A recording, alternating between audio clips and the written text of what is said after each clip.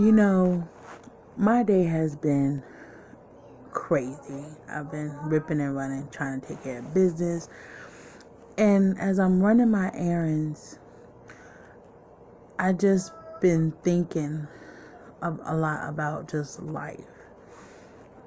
And one thing I just can't seem to understand is how, for example, men will have babies with females and is like after the process of the birth and the delivery and everything you know they were good to you during the pregnancy. Everything is just not gravy no more. Everything goes left. And then it's like you guys split for whatever the case may be. And the the dude don't even try to reach out to see if their child needs anything. And it's like you don't deal with the baby mom like that. And she could not even be drastic i guess if that's how you want to say it but she don't ask you for much so the least you can do is do a call, see what the child needs.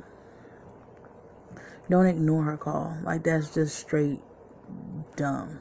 Like why would you even put your child like she's not the one that's really suffering, it's the child.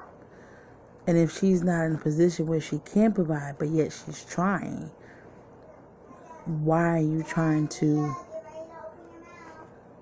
prevent the child from having what they need, point blank, period.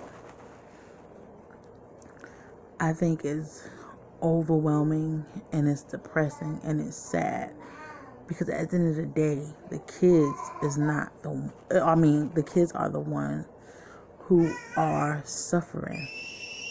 So, ladies, parents, I'm gonna tell you this: if he ain't on his shit, move the hell on. Because you can do bad all by yourself. And just know that what one won't do, another one will.